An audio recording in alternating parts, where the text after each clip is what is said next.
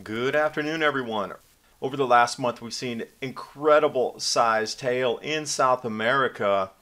Sun halos abound across the planet from Russia to Brazil, Argentina, Germany, and the list does go on. As marina thaws, hundreds of thousands of frozen fish appear down in South Carolina because of the extreme cold. 98% of the white shrimp wiped out. So not only is the cold affecting our terrestrial crops, but also the aquatic life. And while you're watching the video, please remember to subscribe to Adapt 2030 and click that bell so you can get the latest updates.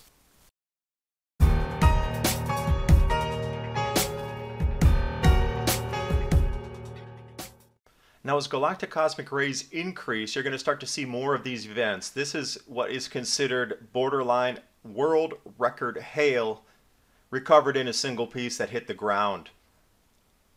This is in Argentina on February 10th.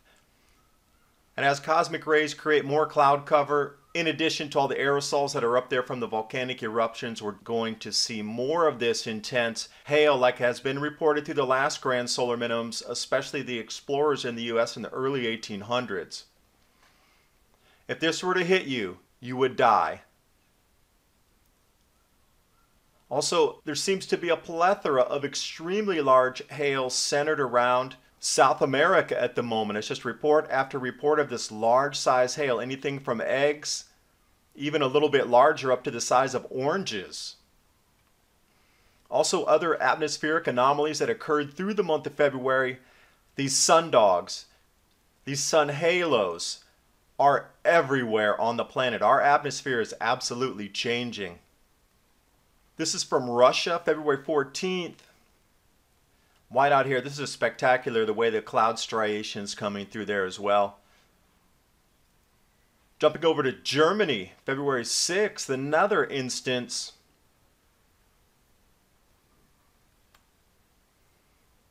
In the ski resorts in France also.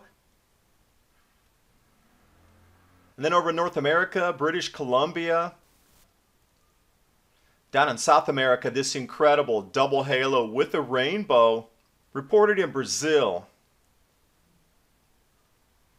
And then other February 25th, Paraguay and Argentina, multiple reports. You have to remember, these used to be an incredibly rare capture. And I know we all have more mobile phones and cameras, but this is becoming something to the extreme. We're six days out of the month saw these what were considered rare halos. Now shifting gears, let's go into the aquatic environment. This is up in Iowa. The marina thaws out. They usually leave bubblers under the water, but the fish kill this year, amazing. All these fish came up as the ice is starting to break and thaw at the moment. Generally, the marina uses bubblers which churn the air and the oxygen, but this year the ice was so intense because of the extreme cold that there was nothing they could do. Images here for you of fish that had floated through the ice and refrozen again as it goes from colder to hot during the day. And then jumping down to South Carolina, the shrimp. I don't know how many of you eat shrimp, but look for these shrimp prices to skyrocket. White shrimp, 98% loss in the fishery due to absolute devastating cold. This comes from the Department of Natural Resources. The water temperatures dipped below 48 degrees Fahrenheit across South Carolina's shrimp fisheries. They say that it's a 98% loss. They don't even know if they're going to open the fishery and when this year. But what was shocking for the director of the office and the fisheries management was how fast it dropped. So the mortality of our fish and our sea life is also being affected by the cold. And now we're starting to see wipeouts of crops terrestrially with these cold weather fronts, above normal temperatures during some areas which allow early fruiting and budding and then wham, these extreme cold events come in this is exactly what was seen during all of the grand solar minimums. If you look back in the historical documentation, they all talk about the exact same thing.